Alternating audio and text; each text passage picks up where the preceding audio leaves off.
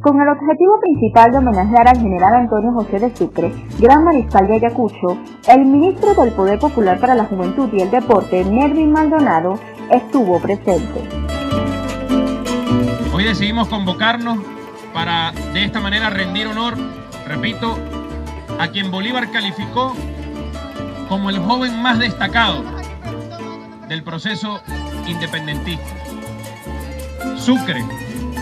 Sucre es para nosotros el ejemplo genuino de lo que debe ser un joven. En estas batallas que estamos en este siglo XXI, ese es el ejemplo de la lealtad que debemos tener los jóvenes presentes, el ejemplo de Sucre. Siempre leales, en cualquier circunstancia, Sucre demostró la lealtad infinita. Les dejo este mensaje de Sucre. ¿A quién podemos temer? A nadie. Somos invencibles. Somos esa fuerza patriota de Bolívar, de Sucre, de Chávez y vamos con Maduro a seguir venciendo. Que viva la juventud, que viva Antonio José de Sucre un acto histórico político con 222 años de aniversario que se llevó a cabo en el municipio libertador de Katia.